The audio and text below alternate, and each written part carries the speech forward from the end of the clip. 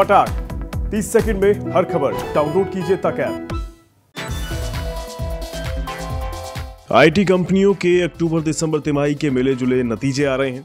TCS और इन्फोसिस ने दमदार नतीजे पेश किए हैं, जबकि विप्रो के नतीजों ने निवेशकों को निराश किया। एचसीएल टेक्नोलॉजीज़ के नतीजों में तिमाही आधार पर कंपनी का मुनाफा पाँच दशमलव चार फ़ीसदी बढ़ा है, जबकि सालाना आधार पर तेरह फ़ीसदी से ज़्यादा गिर गया है।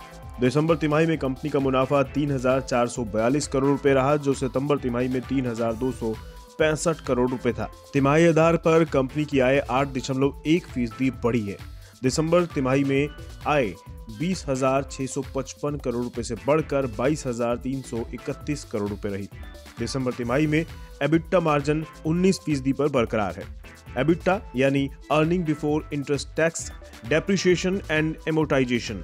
तिमाही आधार पर डॉलर आय में छह दशमलव सात फ़ीसदी की बढ़त देखी गई है।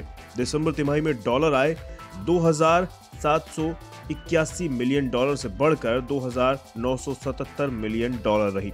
इसके अलावा एचसीएल टेक्नोलॉजीज़ ने दस रुपए प्रति शेयर डिविडेंड का ऐलान किया है। कंपनी में नौकरी छोड़ने वालों की संख्या में इजाफा हुआ है। इस वक्त आईटी कंपनियों में नौकरी छोड़ना बड़ी समस्या बना हुआ है। एच टेक्नोलॉजीज़ में नौकरी छोड़ने वालों की दर पंद्रह दशमलव सात फ़ीसदी से बढ़कर उन्नीस दशमलव आठ फ़ीसदी हो गई है। इसके अलावा कंपनी हंगरी की एक आईटी कंपनी का अधिग्रहण करने जा रही है।